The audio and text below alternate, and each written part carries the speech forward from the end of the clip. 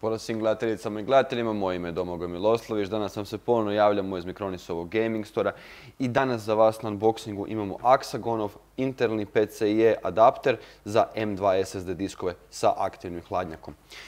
Zašto predstavljamo upravo ovaj uređaj, zašto ga unboxamo? Jer upravo ovaj uređaj je imao jako puno upita putem e-mailova, putem naših Facebook stranica, pa da zapravo objasnimo čemu služi ovaj uređaj. Naravno za sve oni koji su stvarno bolje upućeni u informatičku industriju, automatski će znati o čemu je riječ. No, dotaknut ćemo se naravno samog uređaja i zapravo koje su njegove prednosti i za što se on koristi.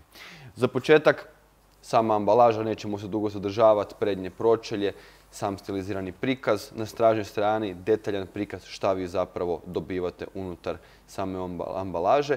I ono što je jako bitno, svaki pojedinačni segment ove PCIe kartice je detaljno objašnjen, tako da već na temelju same ambalaže možete zaključiti o čemu je riječ.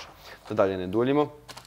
Prvo što zamjećujemo prilikom otvaranja same ambalaže je sam aluminijski heatsink i dva termalna peda koje zapravo možemo naknadno nalijepiti na naše M2 SSD diskove prije same instalacije na adapter. Veoma, veoma pohvalno jer zapravo vidimo da čak nam i ovo aktivno hlađenje dolazi u sinergiji sa komadom pasivnog hlađenja.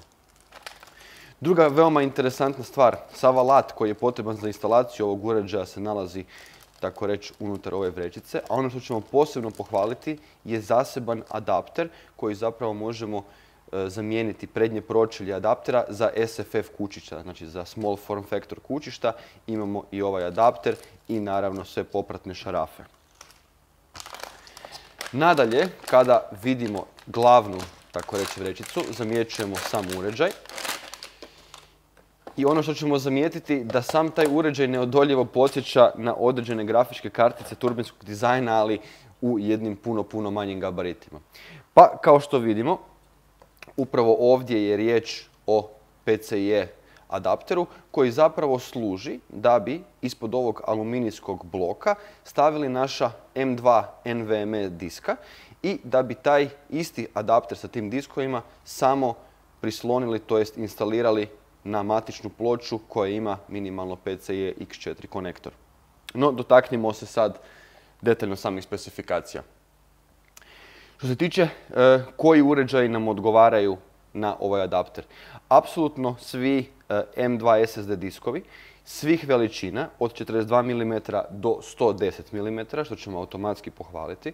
A što se tiče samih protokola i M2 SSD-ovi, znači na SATA protokolu i M2 SSD-ovi na NVMe protokolu. Kada bi fizički odmaknuli ovaj aluminijski gornji blok, znači u gornji slot bi trebali instalirati M2 NVMe disk, dok bi u donji slot instalirali M2 disk koji je također NVMe protokola, samo na SSD konektor, te bi onda taj isti konektor morali spojiti na matičnu ploču, znači od adaptera do matične ploče pomoću SATA kabla.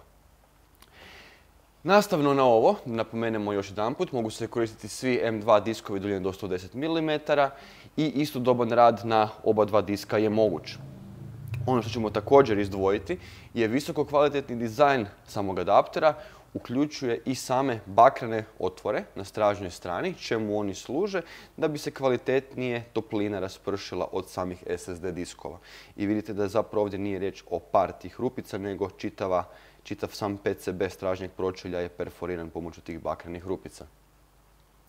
I zapravo taj segment uz prijašnje napomenuti heatsink je dio pasivnog hlađenja. Kad razgovaramo o aktivnom hlađenju ovog sustava, to jest ovog adaptera, vidimo aktivni turbinski ventilator na prednjoj strani samog kućišta i unatoč tome što je veoma mal i time se rotira pri visokim rotacijama, on je relativno tih i nećemo ga zamijetiti, tako reći, što se tiče samog zvuka u day-to-day korištenju.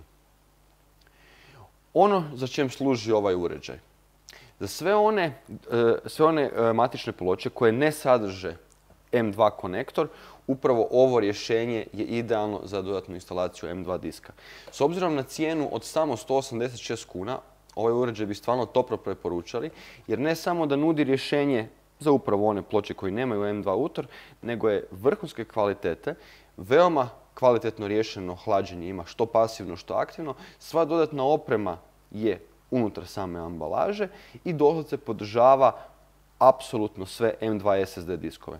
Ukoliko tražite nadogradnju za vaše stari računalo, da ima sam M2 disk, toplo bi preporučili Axagonov PCIe Dual M2 SSD adapter. I s time bi polagano završili. Hvala vam na vašim komentarima, lajkovima i kritikama, a za sve ostalo smo ovdje.